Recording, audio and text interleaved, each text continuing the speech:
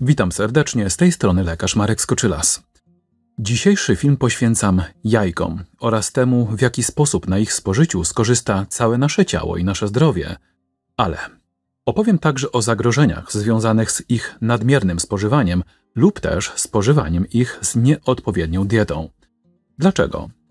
Mało kto zdaje sobie sprawę z tego, że mogą zwiększać ryzyko rozwoju niektórych nowotworów.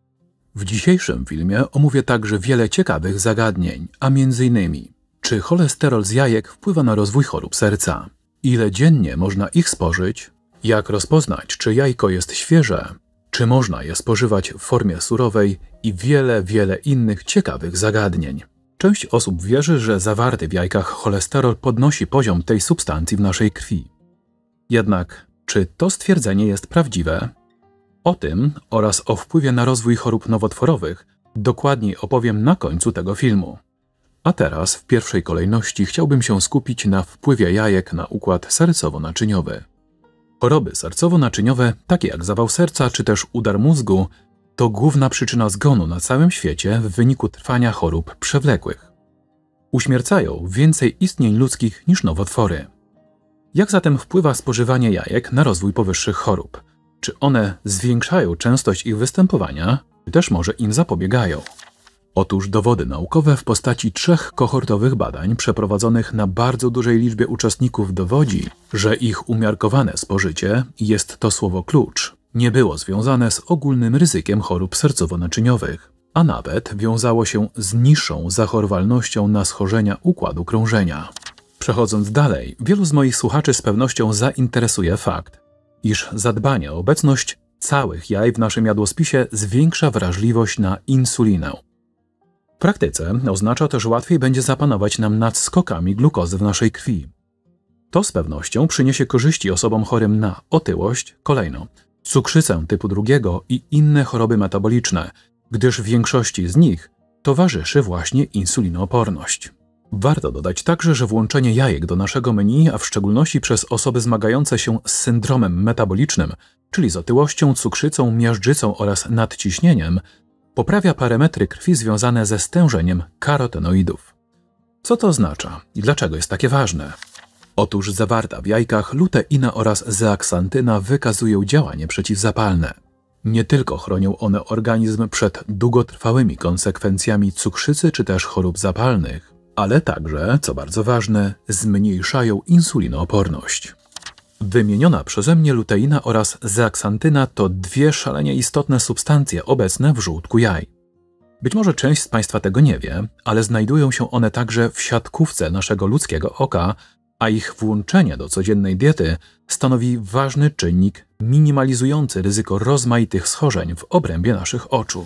Zatem zadbanie o ich stosowną ilość w naszym menu ma korzystny wpływ na opóźnienie rozwoju chorób oczu, takich jak zwyrodnienie plamki żółtej związane z wiekiem oraz zaćma.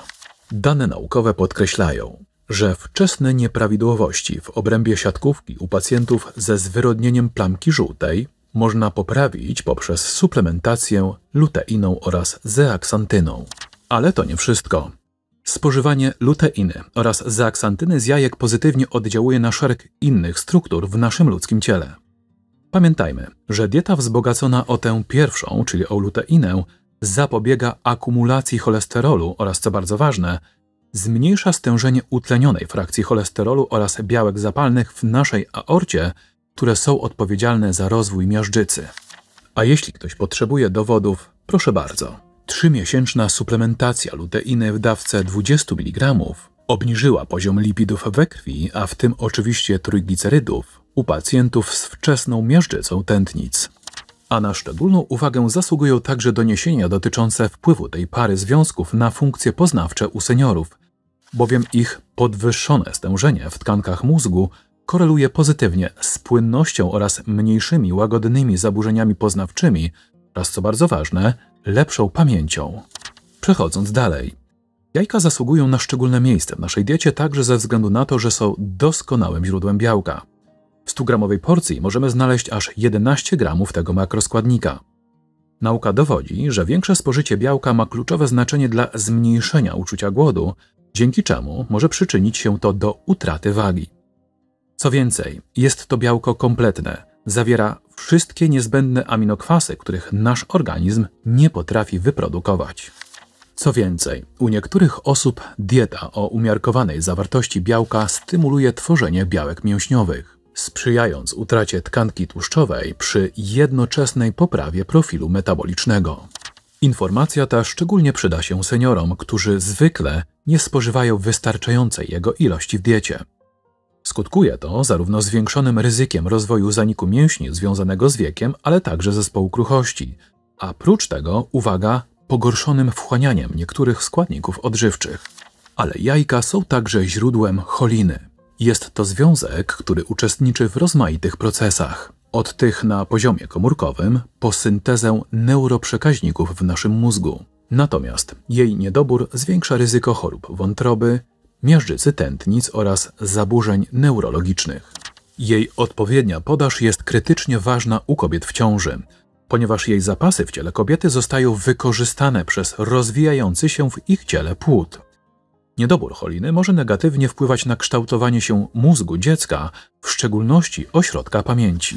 Okazuje się także, i tutaj jest zdanie z wykrzyknikiem, że jej ilość w diecie matki w trakcie ciąży może determinować wydajność pamięciową dziecka na całe jego życie.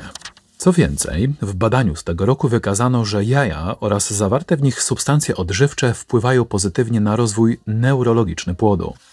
Chronią one przed płodowym zespołem alkoholowym oraz chorobami dziedzicznymi, a w tym zespołem Downa oraz zespołem Retta. I tutaj z pewnością wielu moich słuchaczy zdziwi fakt, że jajko zawiera wszystkie witaminy, z wyjątkiem witaminy C. Sprawia to, że można uznać je za istną bombę witaminową. To taka naturalna multivitamina w solidnej, dużej kapsułce. O wszystkich składnikach zawartych w tym pokarmie można by nagrać oddzielny materiał. Jednak w tym podpunkcie chciałbym się skupić na tych, których ilość w jajkach jest największa. Żółtka jaj zawierają witaminę A, która jest bardzo ważnym czynnikiem warunkującym zdrowie funkcjonowania narządu wzroku. Witamina ta zamienia światło, które dociera do naszych oczu, na sygnał elektryczny wysyłany do mózgu. I to właśnie dlatego jest tak niezbędna w naszym jadłospisie. Wśród najczęstszych dolegliwości związanych z deficytem witaminy A wymienia się kurzą ślepotę. Pamiętajmy także, że niedobór witaminy A upośledza naszą wrodzoną odporność, utrudniając normalną regenerację barier śluzowych, która została uszkodzona przez infekcję. Ponadto witamina A przyspiesza gojenie się ran oraz wpływa na stan naszej skóry, włosów oraz paznokci poprzez warunkowanie różnicowania się komórek. Ponadto z badań wynika, że jej niskie spożycie wiąże się z częstszą zapadalnością na choroby wirusowe. A kolejną witaminą w jajkach jest witamina D. Oczywiście głównym jej źródłem jest światło słoneczne, jednak nie oznacza to, że należy rezygnować z jej źródeł pokarmowych a jednym z nich są właśnie jajka. Witamina ta wspiera gospodarkę wapniową, redukuje ryzyko złamań, minimalizuje bóle mięśniowe, kolejno przyspiesza gojenie się ran, ale prócz tego niweluje suchość naskórka, zmniejsza zmęczenie, apatię oraz problemy ze snem, ale co bardzo ważne, zwiększa także naszą odporność. Co więcej, jej odpowiedni poziom zmniejsza ryzyko takich schorzeń jak stwardnienie rozsiane, oraz inne choroby autoimmunologiczne. Jajka to także źródło witamin z grupy B.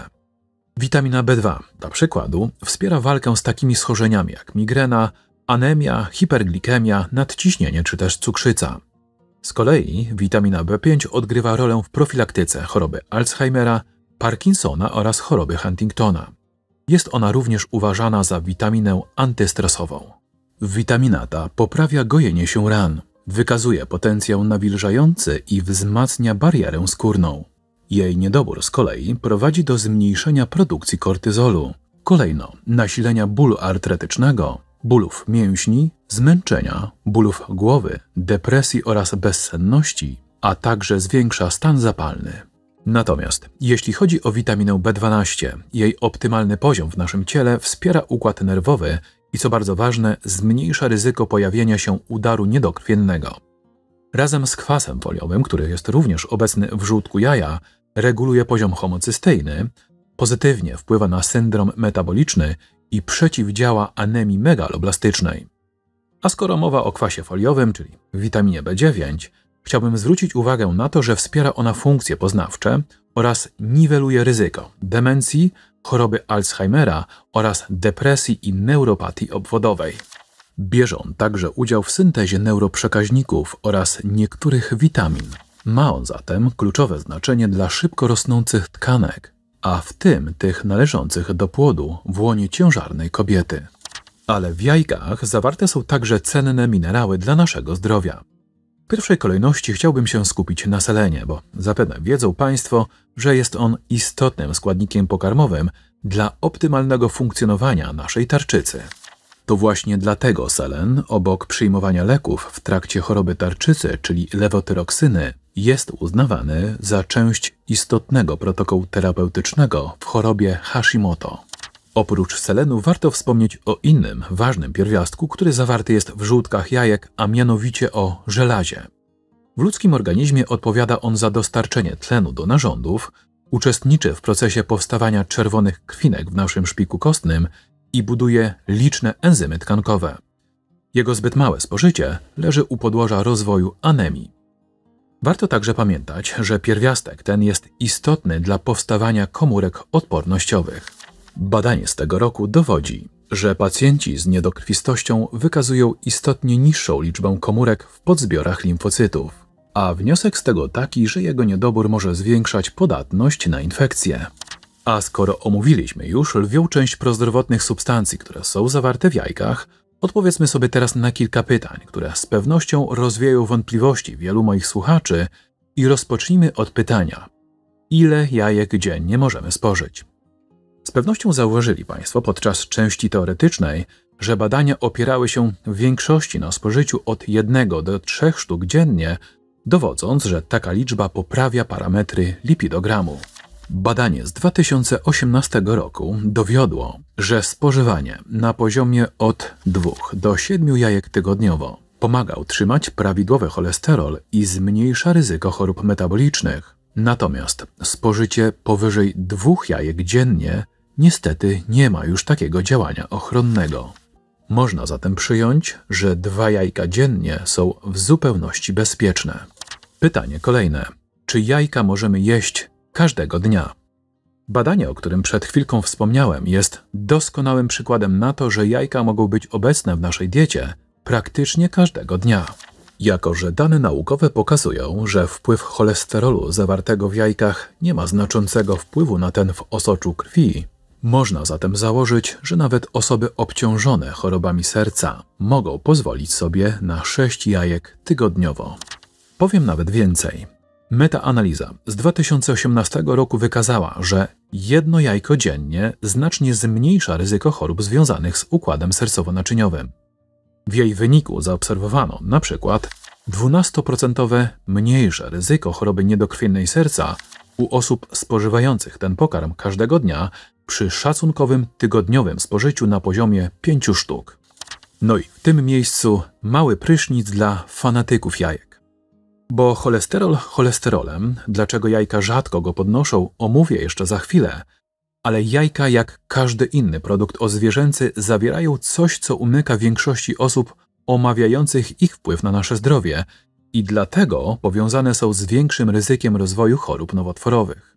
Otóż produkty odzwierzęce zawierają zdecydowanie więcej aminokwasów rozgałęzionych, czyli leucyny, izoleucyny oraz waliny. A co wspólnego mają one z ich rozwojem? Otóż okazuje się, że na przykład leucyna stanowi jeden z głównych budulców komórki nowotworowej. I co bardzo ważne, bez tego aminokwasu rozgałęzionego komórka nowotworowa nie może się rozwijać.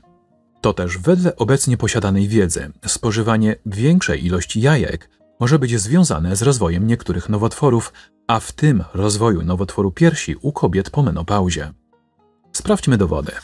Badanie z 2015 roku. W tytule czytamy: Spożycie jaj, a rak piersi, rak jajnika oraz rak prostaty. Metaanaliza prospektywnych badań obserwacyjnych. Dowody na nieliniowość nie były istotnie statystyczne. Natomiast spożycie powyżej 5 jaj tygodniowo było istotnie związane ze zwiększonym ryzykiem rozwoju raka piersi w porównaniu z niespożywaniem jaj. To samo tyczy się niestety jajników. Ponieważ jest to bardzo ważny temat, ponownie pokażemy dowody naukowe.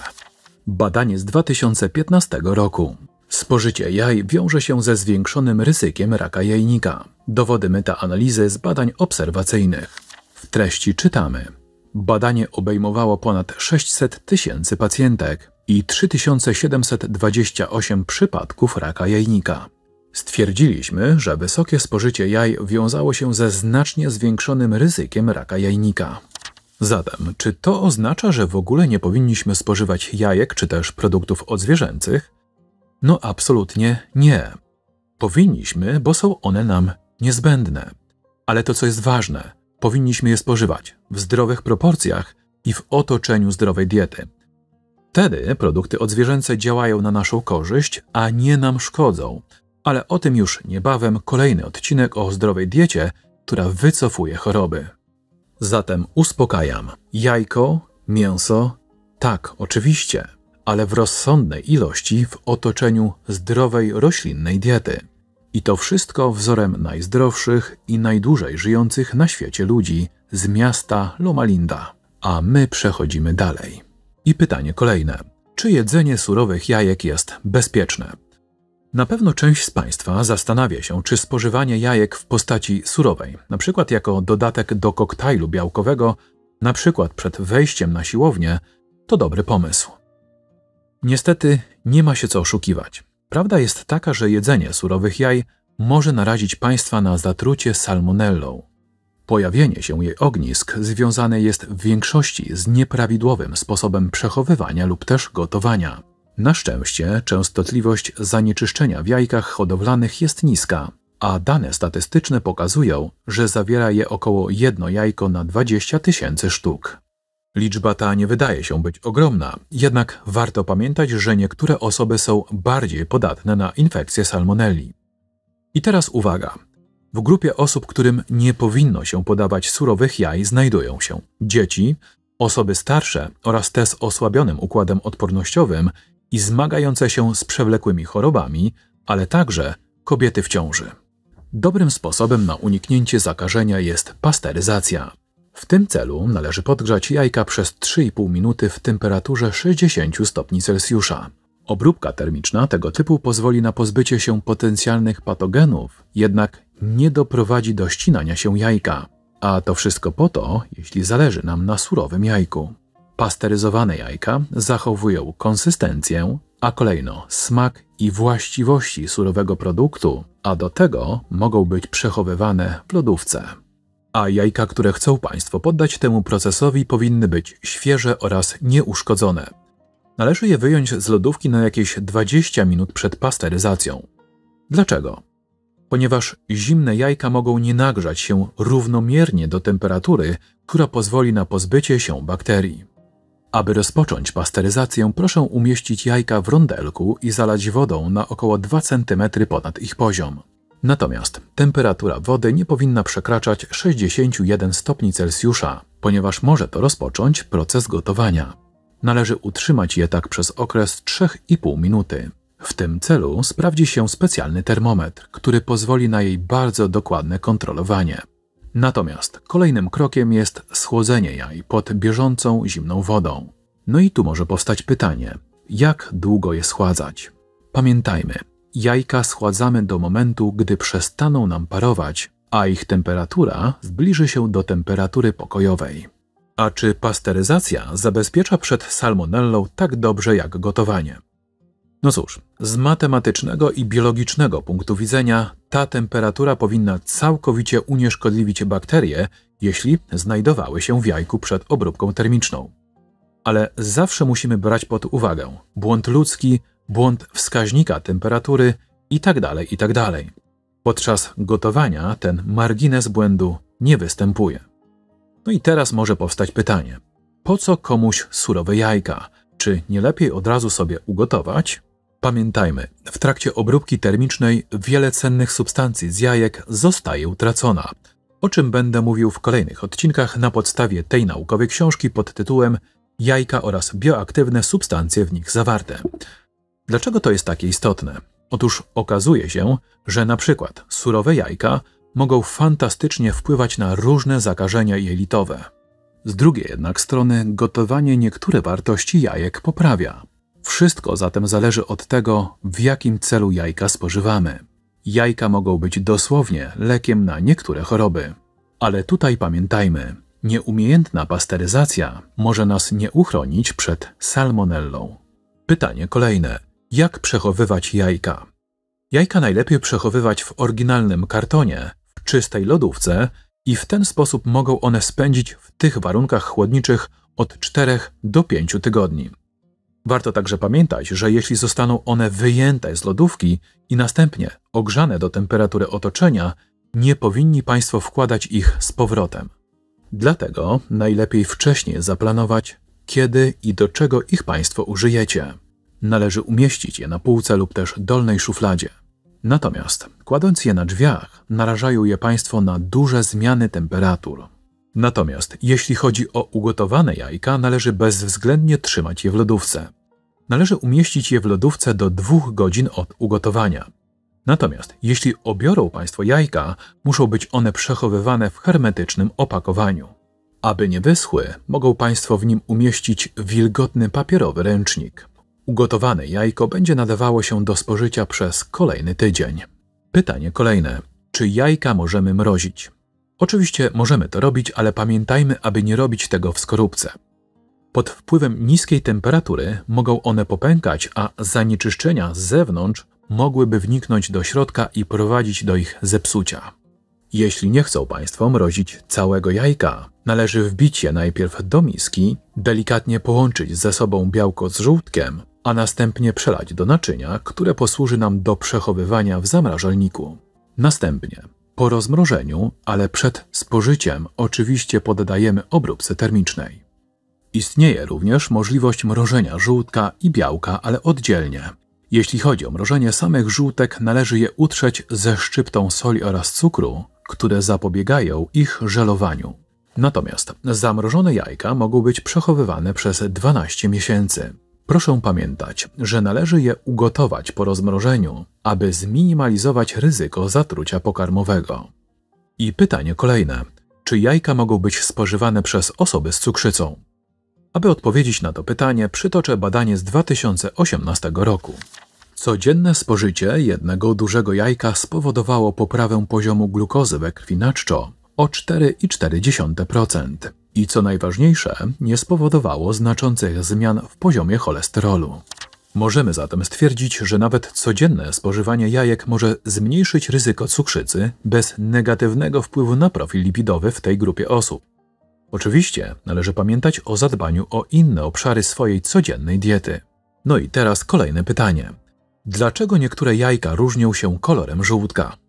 Otóż kolor żółtka jest zależny od tego, czym żywiona jest kura i jak dużo żółto-pomarańczowych barwników roślinnych przyjmuje wraz z pokarmem.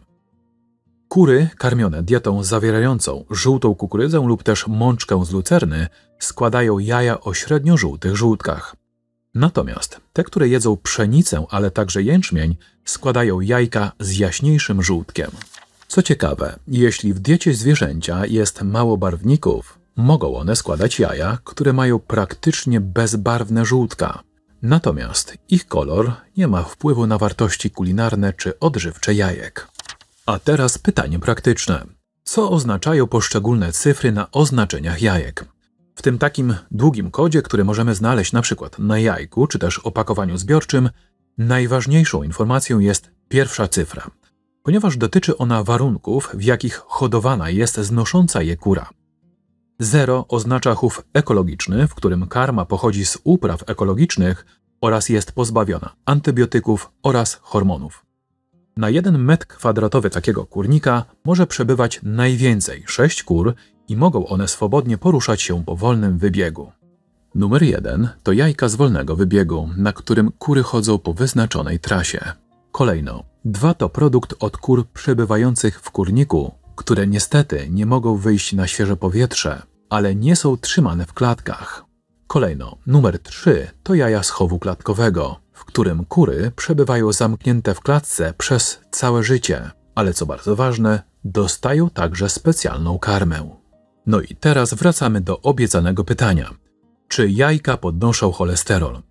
Przez lata panowało przekonanie, że spożywanie zbyt dużej liczby jajek w ciągu tygodnia podnosi poziom cholesterolu we krwi, co zwiększa ryzyko rozwoju chorób sercowo-naczyniowych.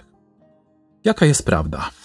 Otóż organem odpowiedzialnym za produkcję tego związku w naszym ciele jest wątroba.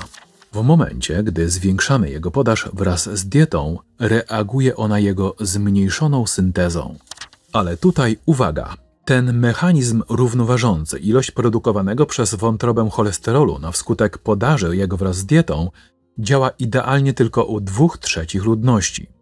U jednej trzeciej osób niestety cholesterol z diety może podnosić jego poziom w naszym ciele. I to jest kwestia, o której zawsze należy pamiętać, której jesteśmy grupie. Dodatkowo należy bezwzględnie podkreślić, że cholesterol w naszej diecie jest tylko jednym z kilku czynników dietetycznych wpływających na jego poziom w naszej surowicy. Natomiast inne obejmują nasycone kwasy tłuszczowe, kwasy tłuszczowe trans i całkowite spożycie kalorii. Aby cieszyć się znacznie obniżonym poziomem cholesterolu w surowicy, należy wdrożyć korzystne zmiany w obrębie wszystkich tych czynników. Pytanie kolejne. Czy wszyscy mogą jeść jajka? Na ten pokarm powinny uważać osoby cierpiące na alergię lub też nietolerancję na którykolwiek z ich komponentów oraz te, które stosują dietę lekkostrawną lub też niskobiałkową. Zapewne część z Państwa zastanawia się teraz, w jakiej formie najlepiej jest spożywać jajka, aby maksymalnie skorzystać z dobrodziejstwa zawartych w nich prozdrowotnych substancji, witamin oraz minerałów. Zatem, czy lepiej jest spożywać jajka na twardo czy na miękko? Po pierwsze, chciałbym podkreślić, że sama obróbka termiczna już sprawia, że jajko zmienia nieco ilość zawartych w nim składników. W jednym z badań na jajkach przeanalizowano ilość aminokwasów gotowych do wchłonięcia w surowym produkcie oraz tym ugotowanym oraz na twardo. Jajka ugotowane na twardo posiadały ich najwięcej, jednak nieznacząco więcej niż te ugotowane na miękko. Dlatego osobiście uważam, że można pomiędzy nimi postawić znak równości i spożywać według własnych preferencji. Pamiętajmy, że proces obróbki termicznej sprawia, że jajka zyskują na zawartości pewnych komponentów, jeżeli o wchłanianiu oczywiście mówimy, przy równoczesnym zmniejszeniu poziomu innych.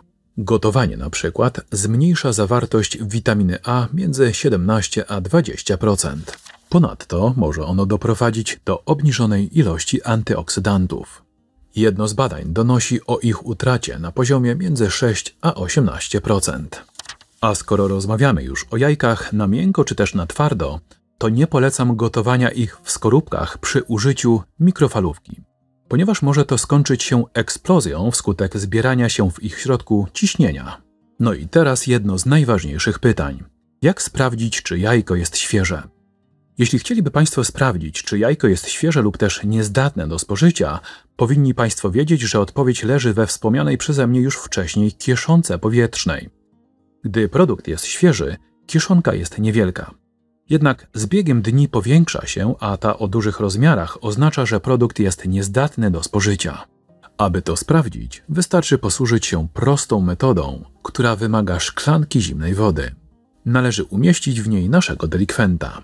Jeśli jajko pozostaje na dnie szklanki w pozycji horyzontalnej, czyli na boku, oznacza to, że kieszonka jest niewielka, a produkt świeży. Natomiast jeśli jajko nie będzie pierwszej świeżości, wtedy pozostanie ono na dnie, ale końcówką z kieszonką pozostanie ku górze. A dla przypomnienia, jest to część mniej szpiczasta. Natomiast jeśli nie będzie się ono nadawało do spożycia, wypłynie na powierzchnię kieszonką do góry. Istnieją jeszcze dwa sposoby na to, aby sprawdzić, czy mamy do czynienia ze świeżym produktem. Należy rozbić jajko na przykład na talerzyk, a w zepsutym jajko białko jest całkowicie wodniste i nie utrzymuje się wokół żółtka. Natomiast w świeżym produkcie widać, że białko rozdziela się na dwie ładne warstwy, które przylegają do żółtka jak żel. A więc podsumowując tematykę jajek.